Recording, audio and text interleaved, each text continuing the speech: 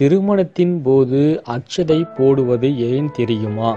தென்னிந்திய இந்துக்கள் திருமணத்தின் போது மஞ்சள் கலந்த அரிசியை மணமக்கள் நீடூழி வாழ்க என்று கூறி அட்சதை போடுவது வழக்கம். இதன் பின்னால் ஒரு தன்னம்பிக்கை இருக்கிறது.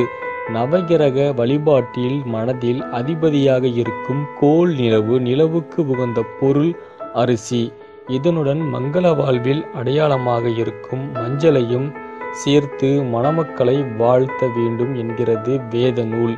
இதனால்தான் திருமங் திருமணங்களில் அக்ஷதை வழங்கும் என்றும் நிலவி வருகிறது. மேலும் இச்சேனலை பற்றி தெரிந்து கொள்ள சப்ஸ்கிரைப் செய்யவும்.